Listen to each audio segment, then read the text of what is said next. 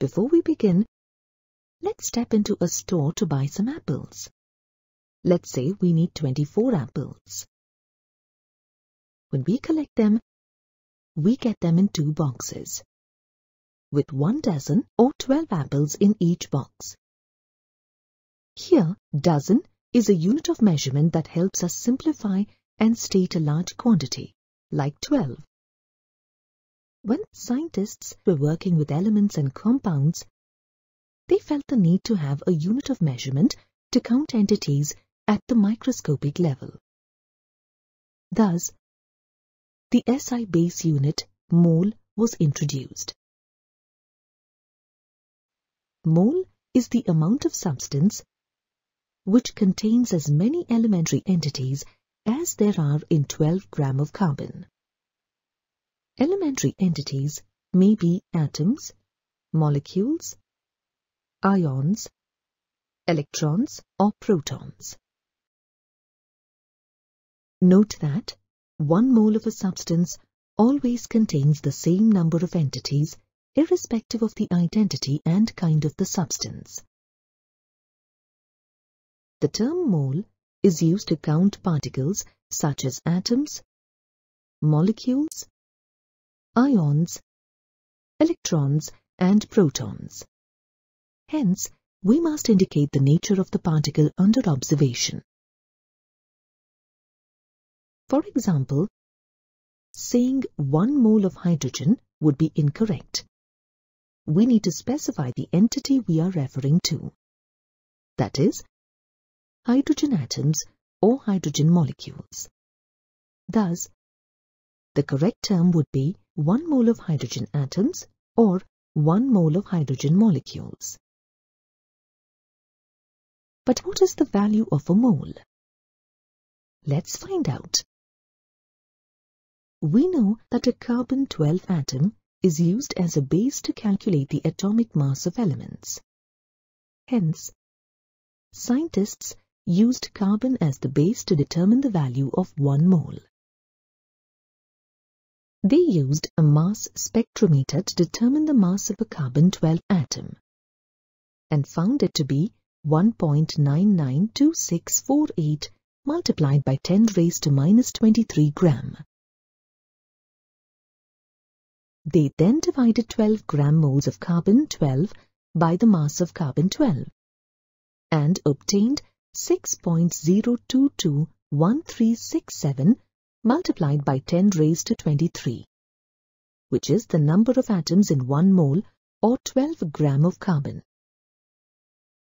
This is the value of 1 mole and is known as Avogadro's number or Avogadro's constant in the honor of Amedeo Avogadro and is usually represented as Na.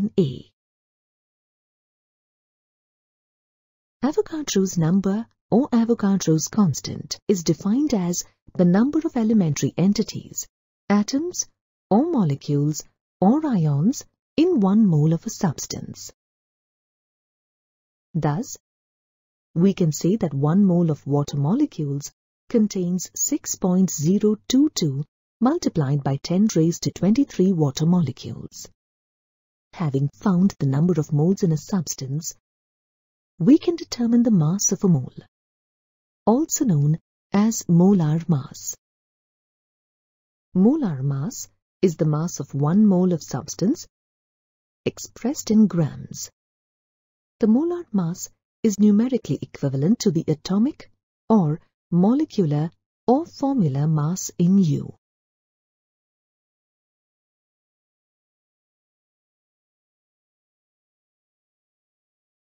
Let's determine the molar mass of water. We know that water comprises two hydrogen atoms and one oxygen atom. We can obtain the atomic masses of hydrogen and oxygen from the periodic table. The atomic mass of hydrogen is 1.00794 and the atomic mass of oxygen is 15.9994. If we add the atomic masses of two hydrogen atoms and one oxygen atom, we get the molar mass of water as 18.02 gram.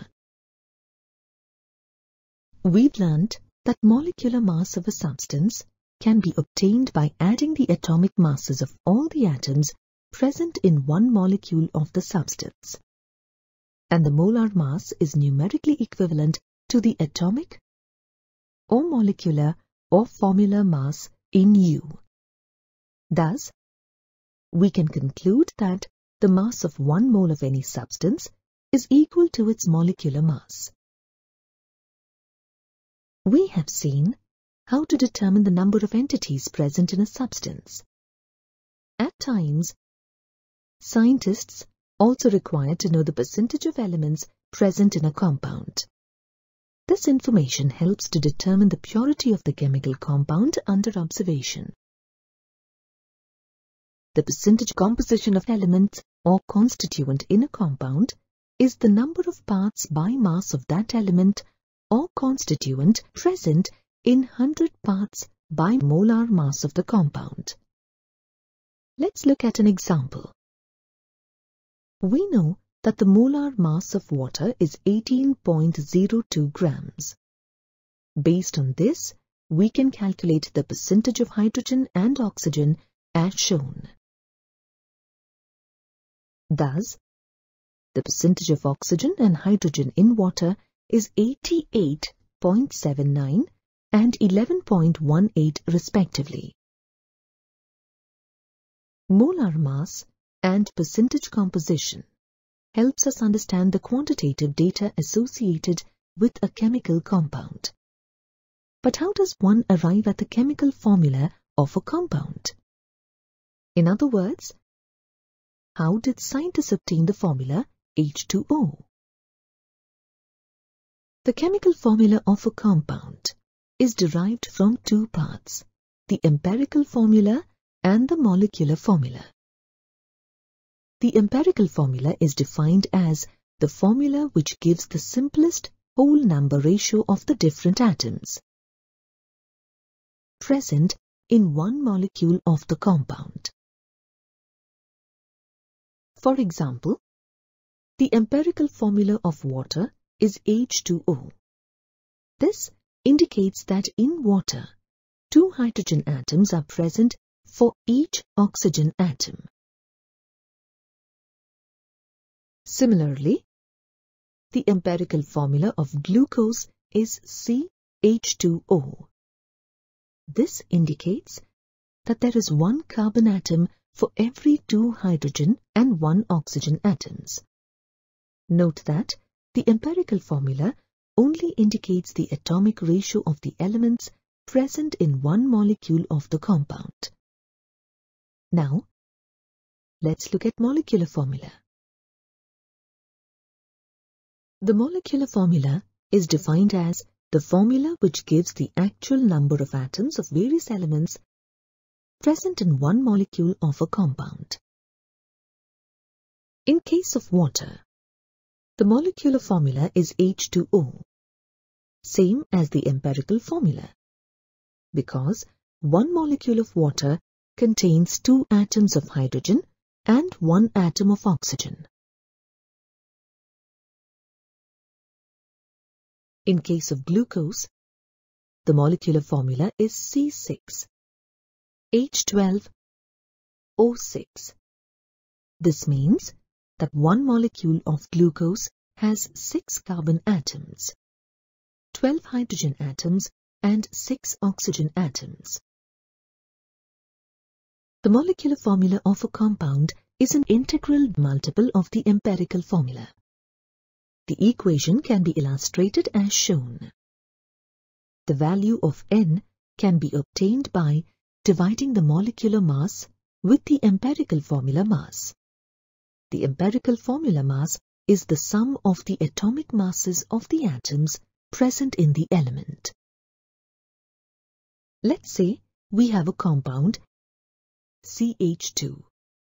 The empirical formula of the compound will be the sum of the atomic masses of one carbon atom and two hydrogen atoms, which is 14 gram mole.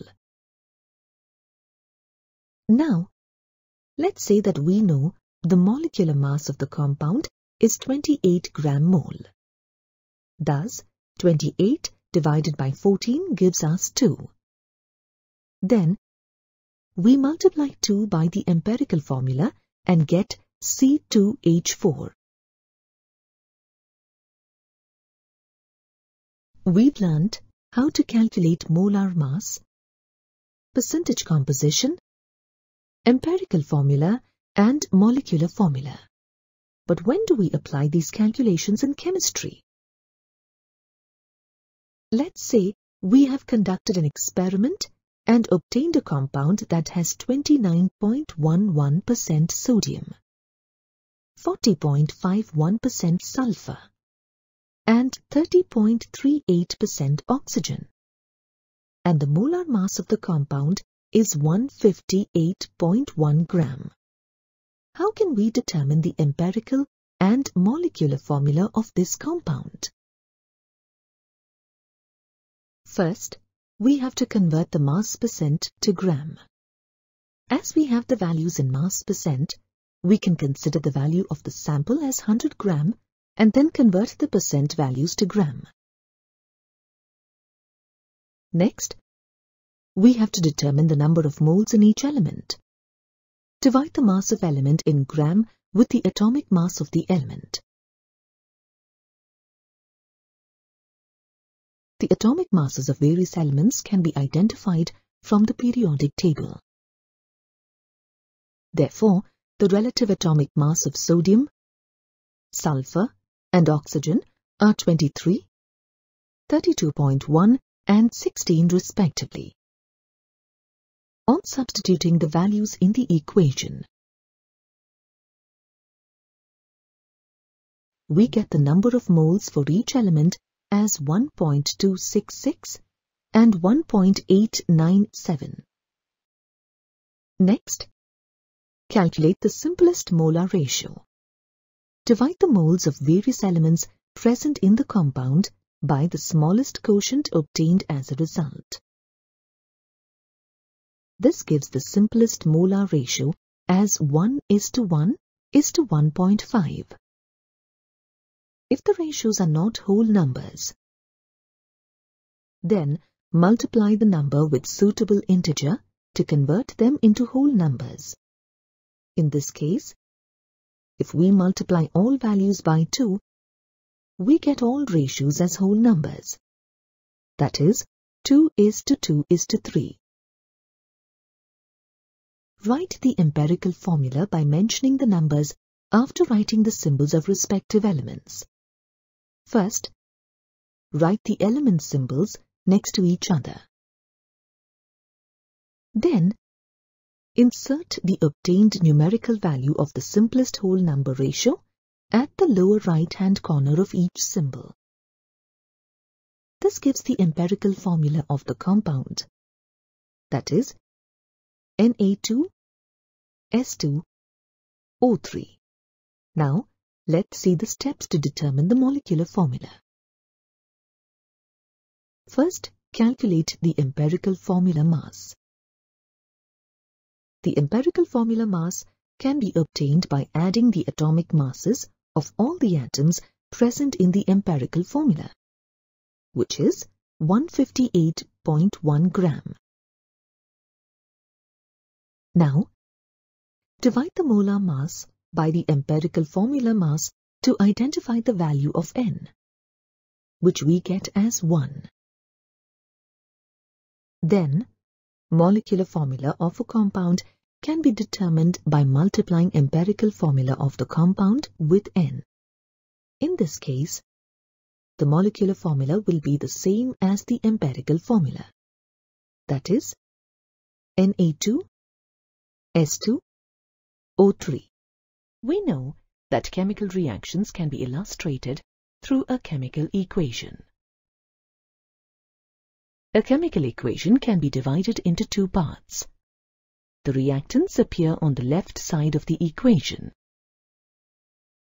In this reaction, hydrogen and oxygen are reactants. The products appear on the right side of the equation. In this example, water is the product.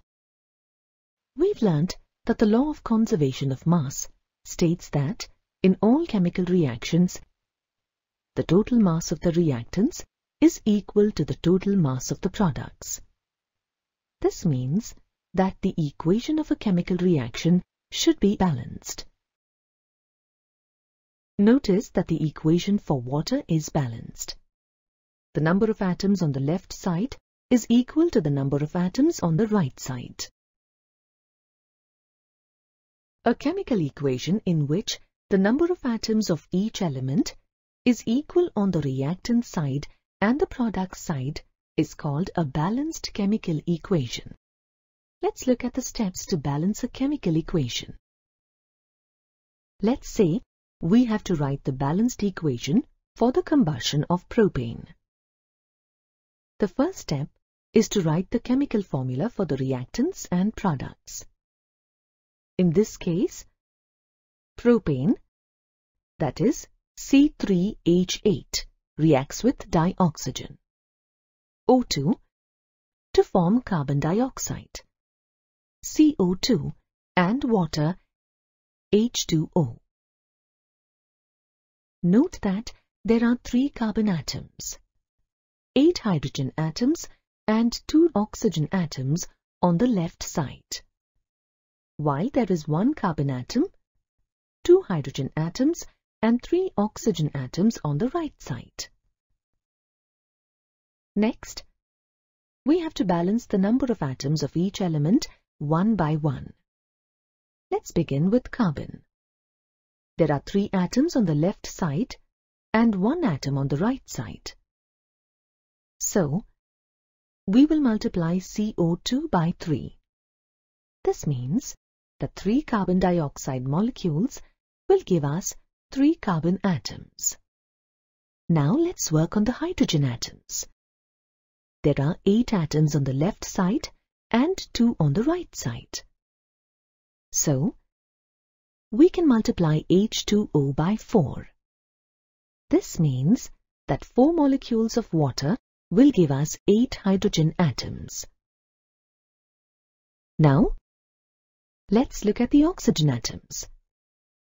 There are 2 oxygen atoms on the left and 10 on the right side. 3 multiplied by 2 oxygen atoms. That is, 6 oxygen atoms in carbon dioxide and 4 multiplied by 1, that is 4 oxygen atoms in water. 6 plus 4 gives a total of 10 oxygen atoms on the right side. Hence, we will multiply O2 on the left side by 5.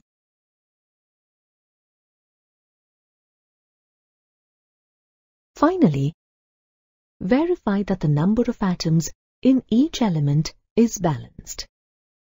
In this case, we have equal number of atoms on both sides. Hence, this is a balanced chemical equation. A balanced equation helps determine the quantitative relationship between the reactants and products in terms of number of moles, molecules, atomic masses, and volumes.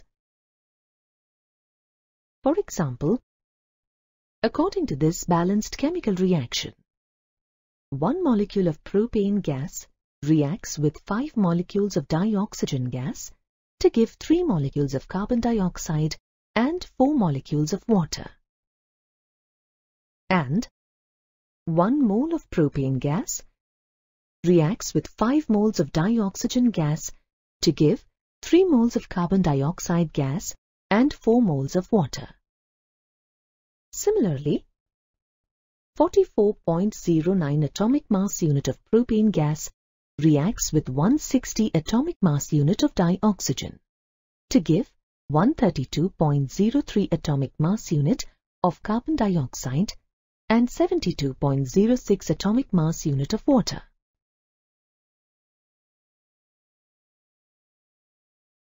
And 44.09 gram of propane gas reacts with 160 gram of dioxygen to give 132.03 gram of carbon dioxide and 72.06 gram of water. And the total mass of the reactants, that is 204.9 grams, is equal to the total mass of the products, which is also 204.9 gram. The calculation of quantitative relationships of the reactants and products in a balanced chemical reaction is known as stoichiometry. The coefficients in a balanced chemical equation are called stoichiometric coefficients. Stoichiometric calculations help understand the mass and mass relationship. This means that if we know the mass of one of the reactants or products, we can determine the mass of the other reactants and products. Similarly, it helps understand mass and volume relationship. That is, if we know the mass or volume of one reactant or product, then we can calculate the mass or volume of the other reactants or products. And if we know the volume of one reactant or product, then we can calculate the volume of the other reactants or products. Most chemical reactions take place in solutions. Hence, we need to understand how to apply stoichiometry to reactions in solutions. For solutions, we need to know the concentration. That is, the number of moles present in a certain volume of solution. We can express the concentration of a solution present in a given volume through four methods. They are mass percent, mole fraction, molarity and molality. Let's look at each method. The mass percent of a solution is determined by dividing the mass of the solute by the mass of the solution and multiplying it by 100. For example, let's say a solution is prepared by adding 4 gram of substance A to 20 gram of water. We need to find the mass percent of the solute. Based on the mass percent formula, we need to divide the mass of A by the mass of the solution. That is, mass of A plus the mass of water. After performing the mathematical calculation, we get the mass percent of A as 16.66. Now, let's look at mole fraction. Mole fraction is the ratio of number of moles of a particular component to the total number of moles of the solution. Mole fraction is a way to express the composition of mixture. For example, if a substance A dissolves in substance B and their number of moles are Na and Nb respectively, then the mole fraction of A will be the number of moles of A divided by the number of moles of solution. And the mole fraction of B will be the number of moles of B divided by the number of moles of solution. Let's say we have to find the mole fractions of water and glycerol. When 92 gram glycerol is mixed with 90 gram water. Given that the molecular weight of water is 18 gram and the molecular weight of glycerol is 92 gram.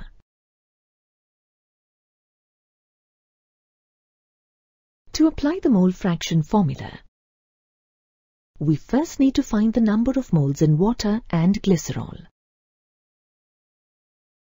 The number of moles of water is 5 and the number of moles of glycerol is 1. We then add them to obtain the total number of moles in the solution. From the calculation, we get the total number of moles in the solution as 6. Then, we find the mole fraction as per the formula. We get the mole fraction of water as 0.833 and the mole fraction of glycerol as 0.167. Next, let's look at molarity. Molarity is the number of moles of solute in 1 liter of solution. It is represented as capital M.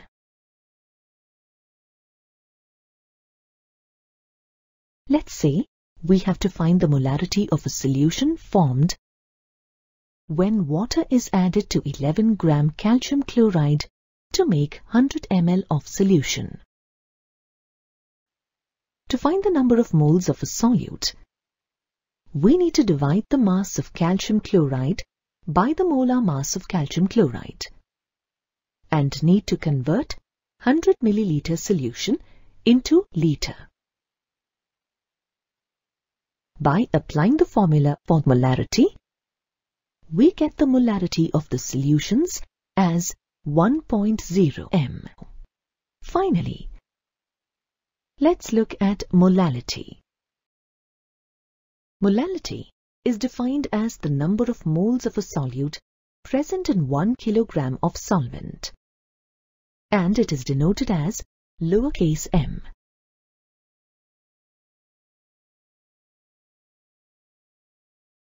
Let's say we have to find the molality of a solution of 10 gram sodium hydroxide in 500 gram water. To find the number of moles of solute, we need to divide the mass of sodium hydroxide by the molar mass of sodium hydroxide. We also need to convert 500 gram water into kilogram. Thus, after applying the formula, we get the molality of the solution as 0.50 m.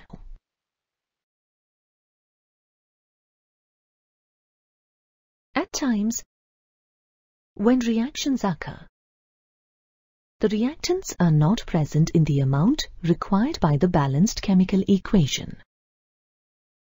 Let's understand this concept through a real-life example. For example, let's say that two slices of bread and one slice of cheese makes one sandwich. Now, if we had a packet of bread with 10 slices and a packet of cheese with 6 slices, how many sandwiches can we make? The answer is 5 sandwiches. In this example, bread is present in lesser amount and gets fully consumed. And hence, we cannot make any more sandwiches, although one slice of cheese is left. Thus, bread is known as a limiting reagent. As its shortfall prevents us from making any more sandwiches, while cheese is the reactant in excess. Let's look at the steps to find a limiting reagent and reactant in excess in a chemical reaction. Let's understand how to calculate limiting reagents from this example. Assume that we mix 50 kg of nitrogen gas and 10 kg of hydrogen gas to produce ammonia gas. Here, we have to determine the limiting reagent during the production of ammonia. First, we have to write the balanced chemical equation of the reaction. Next, we have to convert the given amount into moles. First, we'll convert the mass of nitrogen into grams and then apply the formula to find the moles, which is 1785.7. Similarly, we'll convert the mass of hydrogen to gram and then apply the formula. We get the moles of hydrogen as 4000 960.3. From the balanced chemical equation, we can conclude that 1 mole of nitrogen reacts with 3 moles of hydrogen. Thus, 1785.7 mole of nitrogen reacts with 5357.1 moles of hydrogen. However, we have 4960.3 moles of hydrogen, not 5357.1 moles. Thus, we can conclude that nitrogen is not the limiting agent. If we test in the reverse manner, that is, 3 moles of hydrogen reacts with 1 mole of nitrogen, we get 1653.4 moles of nitrogen, as against the 1785.7 moles of nitrogen. Thus, we can say that nitrogen is the excess reagent while hydrogen is the limiting reagent.